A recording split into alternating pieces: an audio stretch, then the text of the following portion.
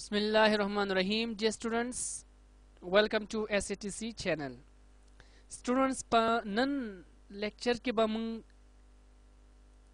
اگزامپل 6.1 سالو کو کوم چې دا ورک ډن سره ریلیټډ اگزامپل دی نو راځي چې سٹارټ واخلو چې د ورک ډن څه قسمه داسې نومریکل کوېسچنز کېدی شي زمونږ په ډیلی لایف کې اور د هغې د سلوشن طریقه کار به سي جی د کوېسچن کې موږ ته وایي چې ا پرسن پولز ا سوټ کیس تھرو د ایرپورټ ایټ ا 45 ډیګري انګل د ټینشن ان د روپ از 20 نیوټن هاو مچ ورک ډز د ټینشن ډو اف د سوټ کیس از فولډ 100 میټر موږ ته وایي چې یو کس او هغه چې کوم دی سوټ کیس په ایرپورټ کې چې کوم دی هغه ډریک کوي راکاږي په 45 ډیګري انګل سره اوس په دې رسۍ کې چې کوم ټینشن دی هغه 20 نیوټن دی یاد ساتئ ټینشن مقصد دلته کې فورس دی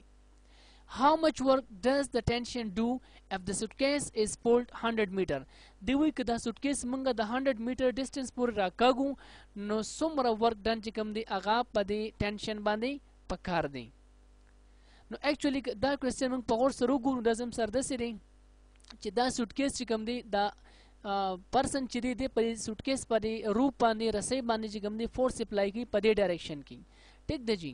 اور دی به داسې موف کیږي نو د ډیسټنس او د فورس په منځ کې یو انګل جوړیږي تیټا تاسو ګورئ دا فورس زم سره او دا زم سره لکه انګل دی تیټا with x axis یا with the ground نو اوس د 100 میټر پورې دا ډریک کی نو څومره ورک ډن به چې کوم دی هغه پکار وي ټیک ده نو زموږ سره انفارمیشن چې دی ګیون انفارمیشن هغه دا دی چې یو خو موږ ته فورس راکړی دی سیکنډ موږ ته انګل راکړی دی کوم چې تیټا دی او سیکنډ یې موږ ته ډیسټنس هم راکړی دی نو دا انفارمیشن به موږ چې کوم دی هغه سپلیټ کو ایز ا ګیون اینډ ریکوایرډ او نیکسټ موږ ته په دې کې دا و چې هاو مچ ورک ډز د ټینشن ډو یعنی ورک چې کوم دی هغه موږ ته ریکوایرډ دی چې هغه موږ فایند کوو جی نو دا انفارمیشن موږ سره به داسې راشي چې په ګیون کې ټینشن دی خو یاد ساتي ټینشن چې کوم دی دا هم یو فورس دی نو هغه زم سره اف باندې موږ ډونوټ کوو چې کوم 20 نیوټن وي سیکنډ ډیسټنس موږ په اس ډینوټ کوو هغه به 100 میټر وي جبکې انګل چې کوم دی تیټا باندې د سمبل باندې تیټا باندې ډینوټ کوو هغه 45 ډیګري ده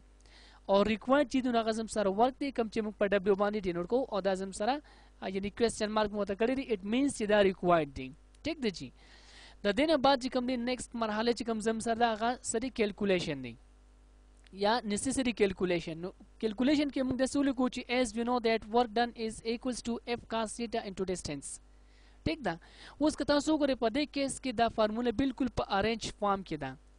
ارینج فارم مقصد دا دی چې دا ورک ډن بالکل یو طرف ته یوازې دی یعنی لیفټ هاند سایډ ته بالکل یوازې دی او ورک هم مونږ معلومو تاسو ته مو ویلو چې مونږ کم سیز معلومو په هغه فوکس ورکو چونکه زمونږ نه ریکوارډ ورک ډن دی هغه بالکل لیفټ هاند سایډ ته یوازې دی بس فارموله بالکل ارینج فارم کې ده صرف ویلیوز پکې پټ اپ کو او دا نه بعد به کیلکولیشن وکړو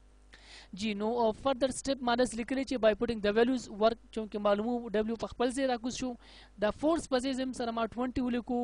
کاز تیټا چونکی تیټا زم سره چې کوم دی هغه 45 ډیګري ده نو زما سره راشي کاز 45 ډیګري ان ټو ډیسټنس ډیسټنس چې زم سره 100 میټر دی ټیک شو جی